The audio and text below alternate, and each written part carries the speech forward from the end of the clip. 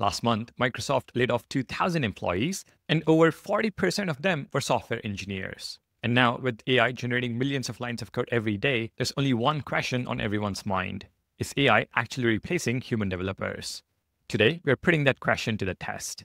I'm going to spin up two AI agents, one as a front end developer and the other as a back end developer, to build a subscription tracking app from scratch. No coding, just prompts. And we'll be using Warp, which is an agentic development environment that is designed to let AI agents build software for you. What makes this experiment interesting is that I have created these incredibly detailed prompts for each agent, breaking down exactly what a real development team would need to build. We are giving it the same level of specification you would give actual developers. All right, let's set this up. I'm here in Warp, where I can run multiple AI agents simultaneously. We will have two agents. Agent 1 is the front-end developer, responsible for React, Vite, Tailwind, and all the UI components. So within Warp, enter the command, mkdir app, and cd into it. I'm going to press Command T to spin up another agent, and this will be the backend developer, handling Express Server, Supabase integration, and all the API logic. So mkdir server and cd into the server folder. But before we can have our agents start building our application, we need to set up the database. I've created a new Supabase project called AI Agents Test. Now here is where it gets interesting. Instead of manually creating tables and setting up schemas like we normally would, I'm going to let Warp's AI agents handle the entire database setup using Supabase's MCP server integration. MCP server is essentially an API for AI. It allows AI agents to interact with external services like they're part of the conversation. And it is actually quite simple to set up. From Supabase blog on MCP server, under the setup section, click on create a personal access token and create a new access token. This is basically an API key that will let Warp connect directly to my Supabase account. I have already created a token and copied it to my clipboard. Back in Warp, command backslash, open the MCP servers panel and add a new MCP server. I'm going to use the configuration from Supabase blog post. Copy, paste it, and update the personal access token placeholder. Once I save this, Warp now has full context of my Supabase account. It can create tables, set up authentication, configure storage buckets, everything. I can now close this panel, close the side panel, open agent 2, and simply paste a prompt into Warp to set up my entire database.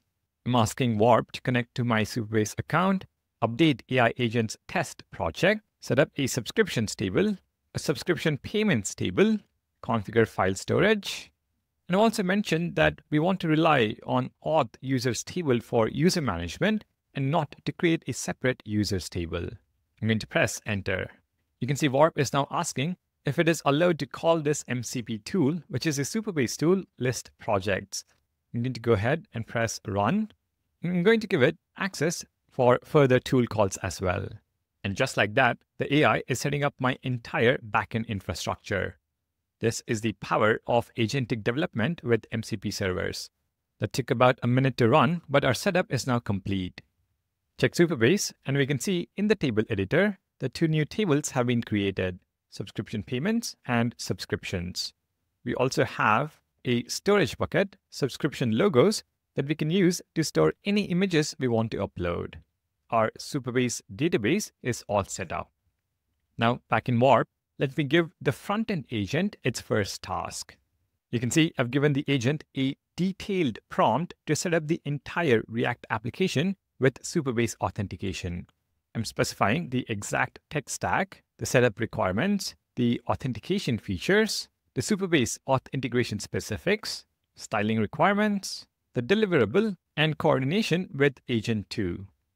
While this is running in the background, let's get our backend agent running in parallel.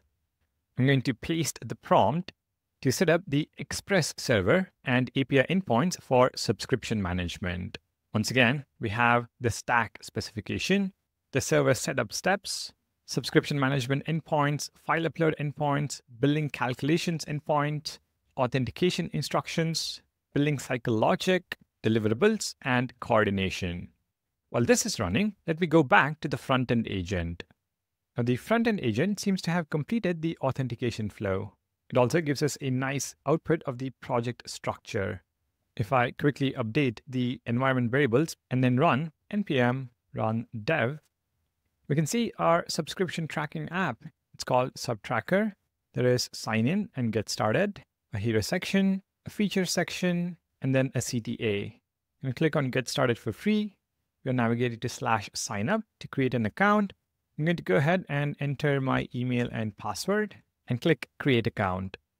Check your email for a confirmation link. And when I confirm, you can see I am now logged in. We have the dashboard view with total monthly cost, active subscriptions, and monthly spending. We also have a card to manage all our recurring payments and a card for recent activity. The front-end agent did a pretty good job of setting up a Vite React project, configured Tailwind, set up Shadcn UI components, and created a complete authentication flow with login, sign up, and sign out. Let's go back to the front-end agent and prompt to implement the subscription management UI in the dashboard. I'm going to paste the prompt, which is once again a very detailed prompt. Build the core subscription management functionality using Shadcn UI. We list down the features, the components to use, styling, user ID handling, deliverables, and coordination. Make sure to select agent mode. I'm going to fire this off and take a look at the backend agent. Okay, seems like our backend agent has completed the Express server setup and also is running the development server for us. Server running on localhost port 3001 and API documentation available at localhost 3001 slash API slash health.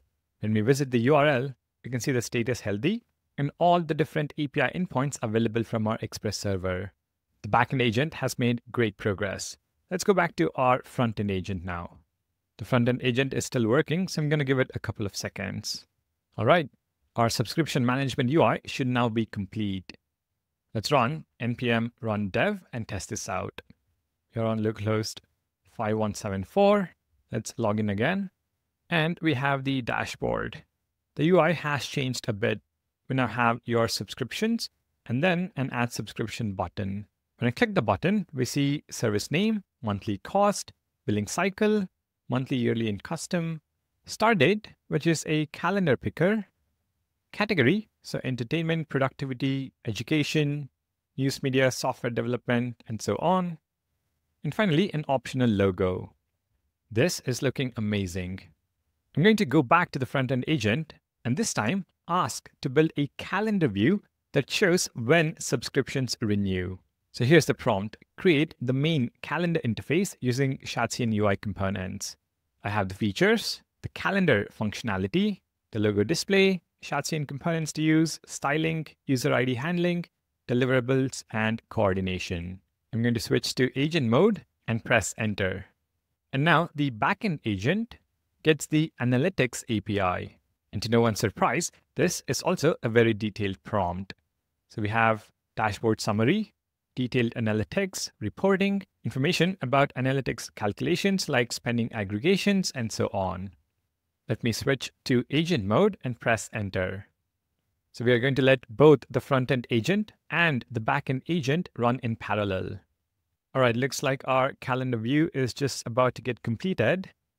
So I'm going to quickly follow this up with the UI for analytics, which the backend agent is working on. Our backend agent, in the meantime, has completed its task. So if we refresh slash API slash health, we should see the analytics and reports API endpoints. That took about a minute, but our analytics UI should also now be complete. All right, if we visit slash dashboard, we should now be able to see all our features. We have total monthly cost, active subscriptions, monthly spending, your subscriptions in three different views. So calendar, with calendar being a custom Shadcn component, analytics, some more data and charts, and a simple list view of our subscriptions. I'm going to add a new subscription. Let's call it Code Evolution, $7 a month, monthly billing cycle, June 22nd start date, category, software development, I'm going to keep the logo optional and click on add subscription. We have our monthly cost, $7, one active subscription, and this month, monthly spending is $7. I can also see the entry being made in the calendar against June 22nd. Click this tile, and we can see a detailed view. Code evolution, active, software development, total paid, start date, last updated, and then the payment history. Let's go ahead and add one more.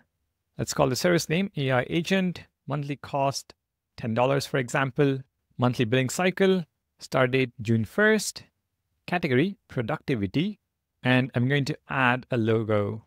So against June 1st, we now have a $10 subscription to AI agents. If I switch over to analytics, you can see our spending trend, spending by category, upcoming renewals, and then a category breakdown. I can go to the list view and we simply see a list of all our subscriptions. Of course, at any point, we can also edit AI agent updated, for example, and we should see the updated service name. Click on delete, confirmation dialog, and our subscription has been deleted. In our subscriptions table, we can see the one entry for Code Evolution at $7 a month and in the auth table, you should see one row corresponding to my account. If you open the project folder, you can see the entire code base. We have app and server. App, which is our front-end app. And you can see the AI agent did a pretty good job of organizing the files and folders. We have assets, components, UI for Shadcn components, all the different subscription and analytics related components. We have a separate contexts folder for auth context and subscription context, a lib folder for all the utilities, pages for all the different views, a types folder, and this to me is as good as you get. We can also see that it's made use of env files to not commit keys or secrets to version control. We also have our backend server folder with routes and utils.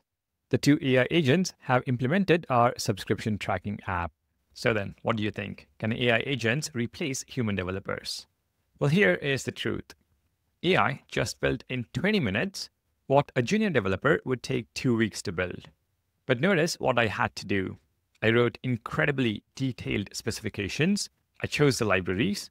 I structured the prompts and what to expect from the AI agents. AI didn't replace the developer. It simply replaced the typing.